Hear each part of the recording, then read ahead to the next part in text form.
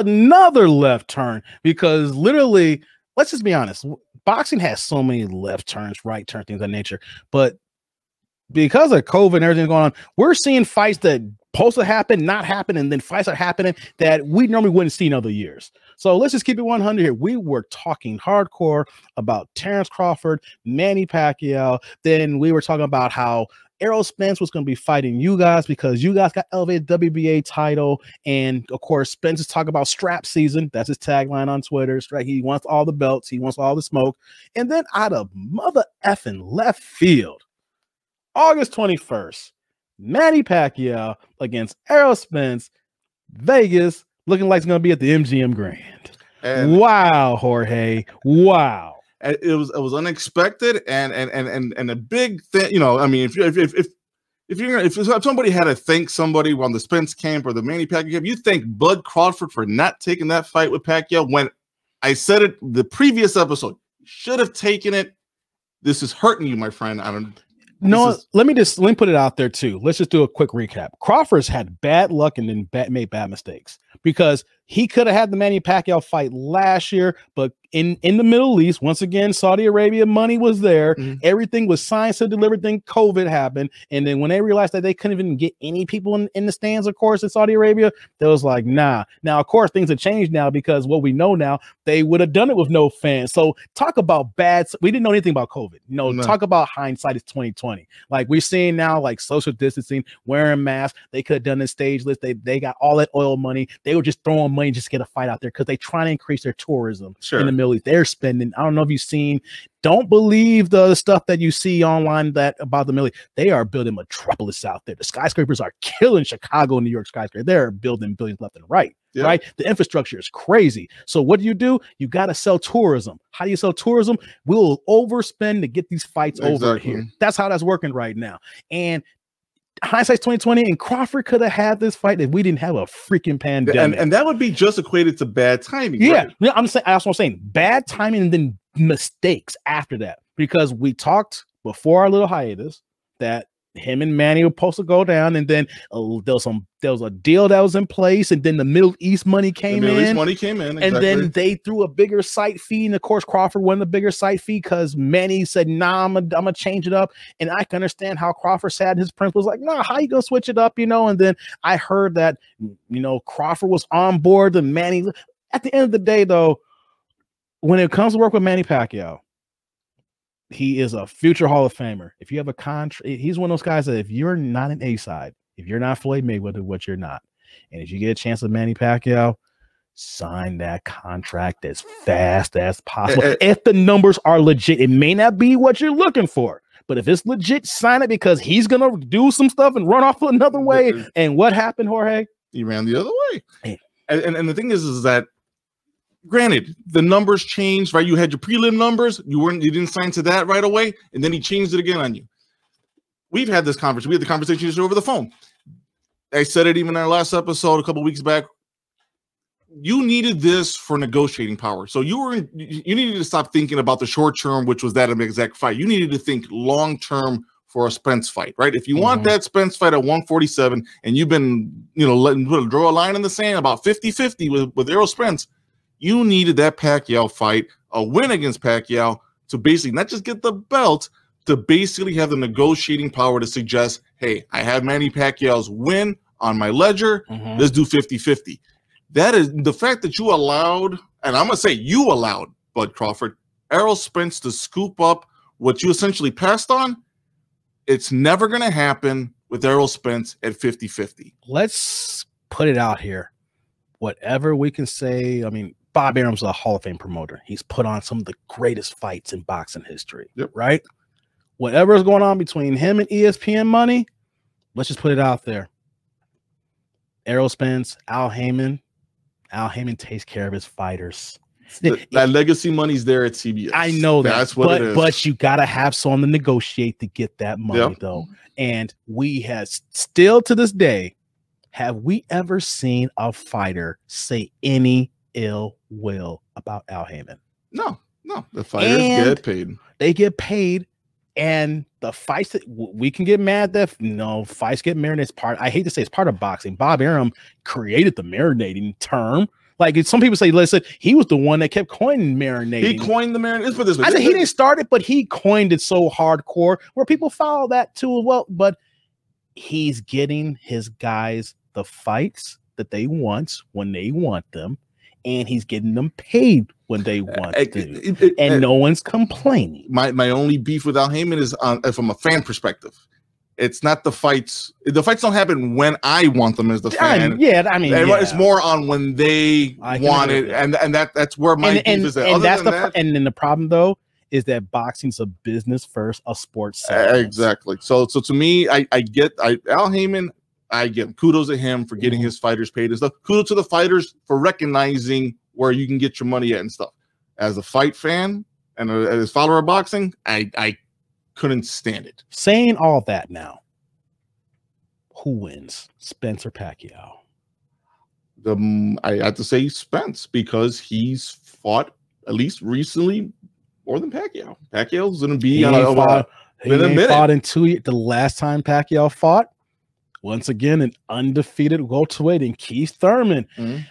Say what people who want to nitpick me, I give Manny Pacquiao props. I mean, at this point in the game right now, I can see. I, of course, Floyd gave a jab to Manny this weekend because he's like, I'm about to make all this money, and Manny's still fighting guys like Spence. I don't need to fight guys like Spence, and I can understand it because Floyd's like, I'm thinking smarter, not harder. I'm not gonna get my ass whooped from by Errol Spence now, right now. Let Manny take that for 25, 30 million when I can make 70 million Logan Paul, right?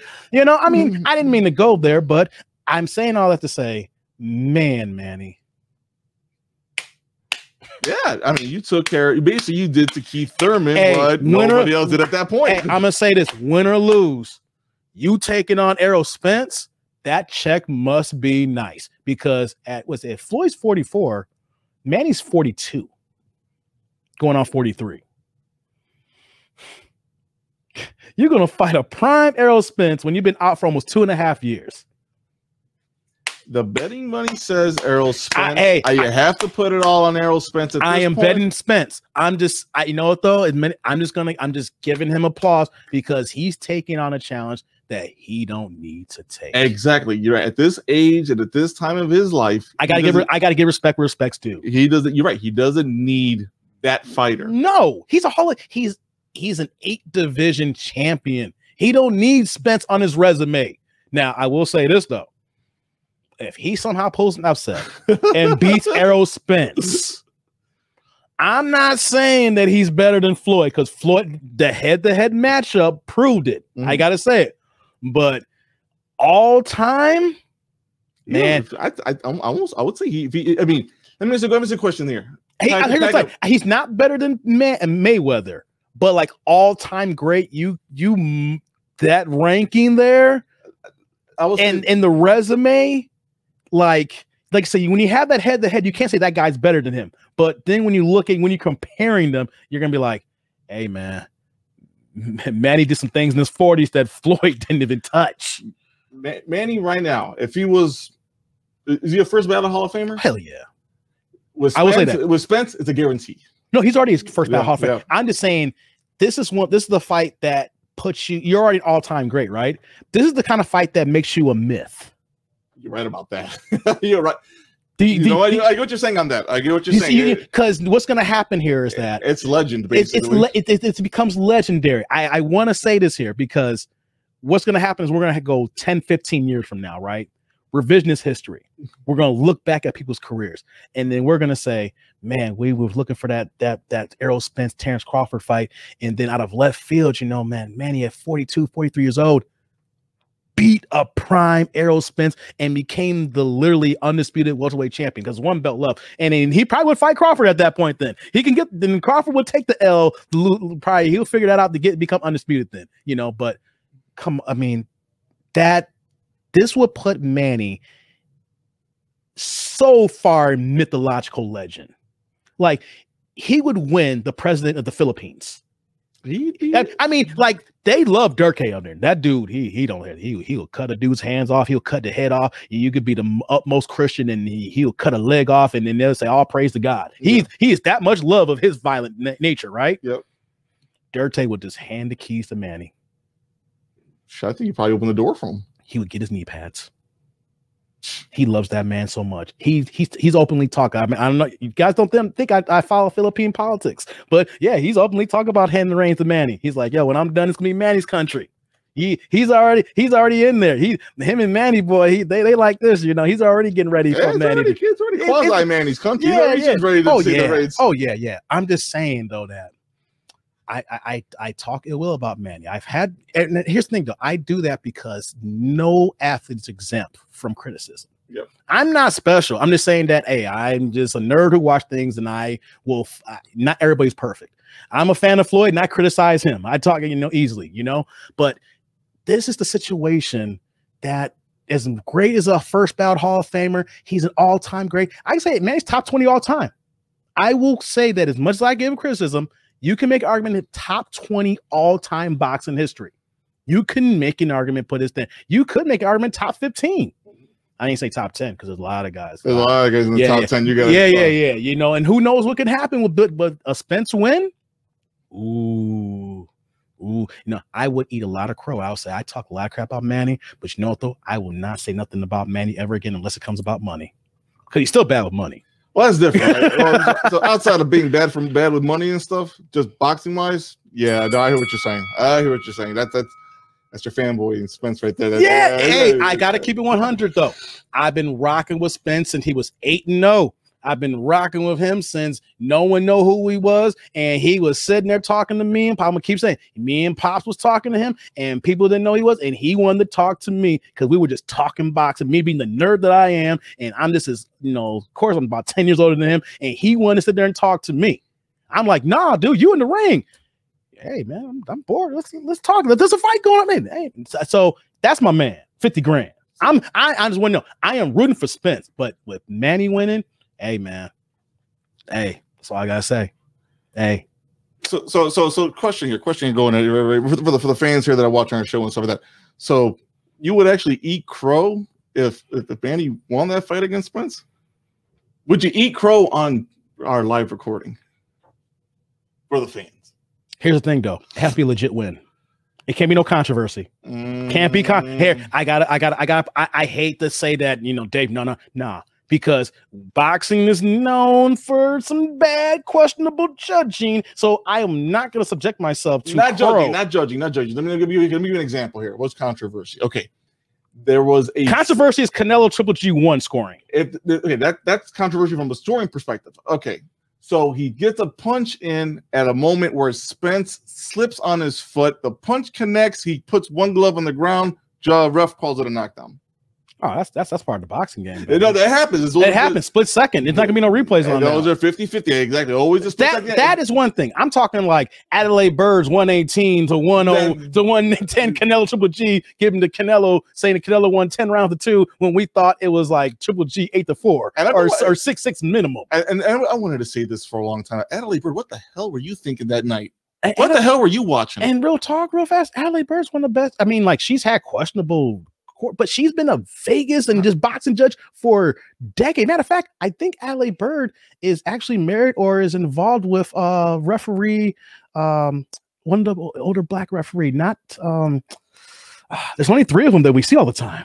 uh, weeks. There's weeks. Yeah, Weeks. I think she. I think I, I don't don't quote me on this, but I thought I saw something that her and Weeks are are together.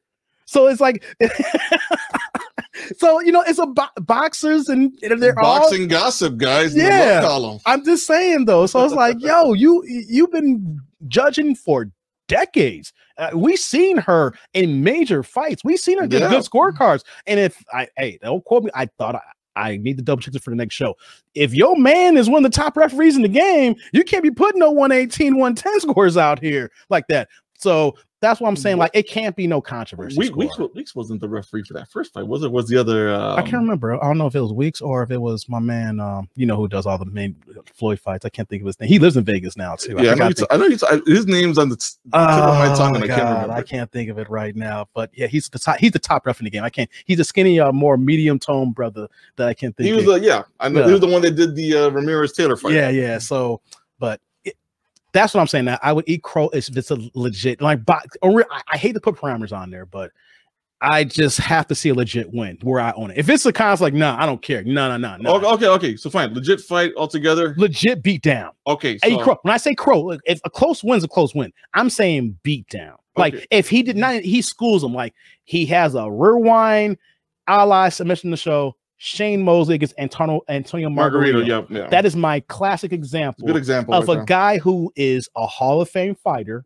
who's thought is on the down end and was basically being served up for Margarito for a good win to catapult him up to superstardom. And you, you turn the clock down back, and then you get that big win to get the Floyd fight. That's Spence right now. That's Manny and Spence right now because it, it, it could be two big fights for Manny. He could win this one and get the Crawford fight, or Spence beats, beats him and pass the torch, and Spence is the pay per view king. Mhm.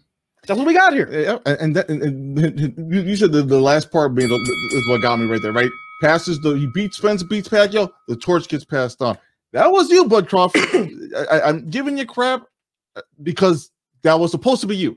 last thing with that if when this happens now and if if let's say if when whatever how you, the betting favorite's going to be errol spence there is no 50-50 talk for crawford spence if spence has three belts beats manny pacquiao is the pay-per-view king it's just finances now it's just commerce finances numbers i don't mm, care how Negotiating power, all that's on Terence Crawford turns into the Bernard Hopkins of our time when you're a great fighter who cannot make the big money, you're not the A side.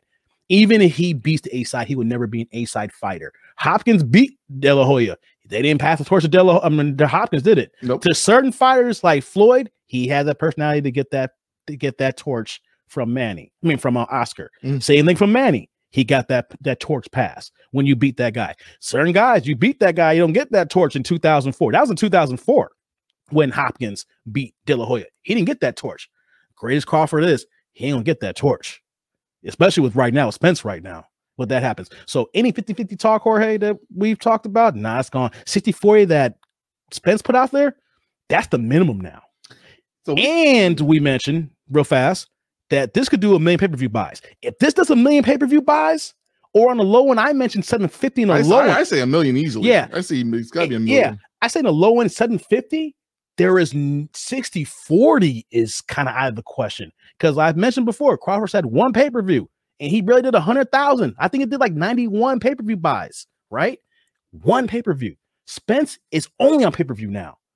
He is fighting guys on names. Is like, yo, he put 300,000 on this one here. You get a Manny fighting it. So I just wanted to end on that. I'll let you comment. If it does a million, Crawford's just going to have to take whatever contract that comes his way.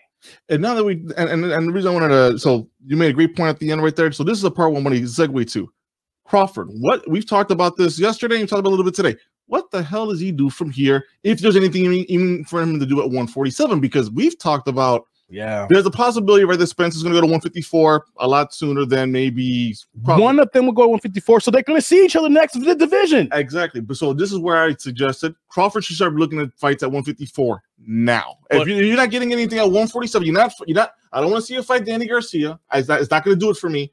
You're not going to fight Porter because you guys have talked about it, and Mhm. you guys are not going to have that fight. So right now it ain't Spence and it ain't Pacquiao. Who's he going to get at 154 though?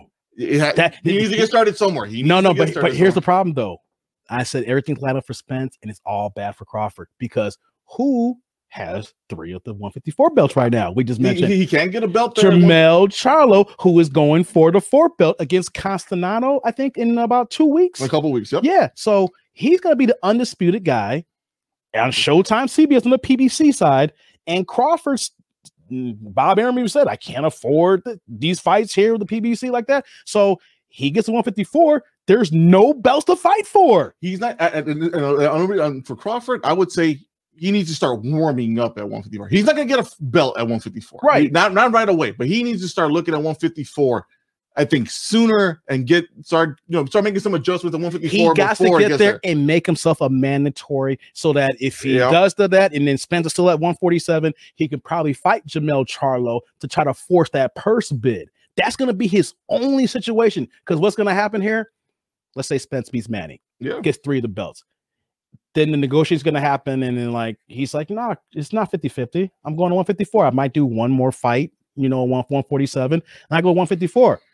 Jermell's with me at PBC.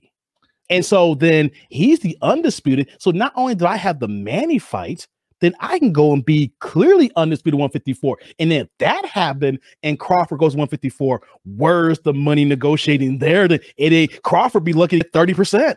So agree with everything you said up to that point. It, so the contract with Top Rank expires this October, right? So Mhm. whatever, so whatever happens between Crawford and That's he- huge though. If he joins PBC down the road, then then then he's kind of in the mix for that. But for him right now, there's nobody for him to really fight at 147. Right. That, would And no one at 154 now. No, nobody. But he needs to get started somewhere. So at this point, if you're not willing to take the Pacquiao, The fight, Vergil Ortiz of the world, he's gonna have to fight. and, and, and I'm not exactly kind of eager to see that fight. I'm not. I mean, I. Mm, I, mean. I, mean, I want to see, but I like Vergil Ortiz, but maybe in about a year and a half. that- it's it's like the the lower. And by that time, he's at 154. Anything past Pacquiao at this point is a consolation prize, and I think of the I think Ortiz is the smaller end of the consolation prize. Is that something that's gonna basically, you know, start raising eyebrows and stuff? Oh, he's gonna fight Ortiz. No, no it doesn't. It doesn't do anything. It doesn't do Because for you, you beat a young fighter who wasn't ready yet. That's what's going to happen. now. Exactly. So And me- we know he's not ready yet. exactly. So to me, Crawford go to 154. You're not gonna fight for any belt, but start getting a fight or two. Start working your start building a resume at 154. Start working out whatever kinks you need to at 154. Who knows? Maybe it's not even the weight for you, but you gotta at least find out because at Mhm. 147, you just turned on your biggest fight. Pacquiao was it. And at this point, you're you're gonna be the one on a holding pattern Yeah. and you're in a bad Let's- spot. And you and this last one, you did this to yourself. So you need to start thinking the rest of the year what I need to do. If 154 he- sounds right to me. He's a three division champion, undefeated, with no dance partners. With none. I mean, like Vergil Ortiz, maybe. And after you look at that, he's gonna have to jump ship and go to PBC, Showtime. I don't even see anybody at the zone at 147, 154 because Castellanos got the one belt and there he's coming to Showtime to fight Charlo for that. So he's gonna have to leave. It's a situation he's gonna have to leave Bob Arum, but then this Eagles decide that he still thinks he's entitled to a certain amount of money. So even if he comes to Al Haymon's side, who's to say he's gonna get the fight still because he still thinks he's entitled to that money? And I, and I know we need to move on. And I yeah, I, I, I want to hear your last thought on this one. I'll let you have final thought on this one. But think about it though. Bob, let's say that he's jumped ship, but Spence like, no, we got the same promoter, but you don't get 50 50. That's still a manager manager conversation with Al Haymon. Then it's 60 40. I don't want 60 40. Then you're on PBC and you're still ain't fighting. Then only you're only fighting Danny Garcia and Shawn Porter because that fight can happen now because you don't have to share promoters, but you ain't getting Spence. You know what I'm saying? So I, let me let me get let me hear your final thought. Before we got to move on. So Sure. Yeah. that. In this case, I mean that that's exactly goes right back to like the Roy Jones uh, Hopkins uh, fiasco right there. This time I this Oh, this, yeah. this time this is Spence going 70-30, I'm gonna whoop your ass. 70-30, I'm gonna whoop your that that's exactly gonna come from Spence and and, and, and, and Mhm. Spence beats Pacquiao. I like it. Like I said, you he's said gonna that. he's gonna say 70-30, I'm gonna whoop your ass. That's exactly what he's gonna say. So to me, Crawford is he's, he's, he's in a he's in a bind. He, Mhm. he put himself in a bind on this one, and whatever decision he makes, I just don't see it at 147 for No. me. So I to- I don't see the 147. It's gonna be hard at 154. it'll be hard at 154, but at this point, he needs to start make start figuring out what the track he's going to make. If you really want Spence, no matter what, it's going to be 70 30. You just need to decide whether you want to fight Spence at 147 or at 154.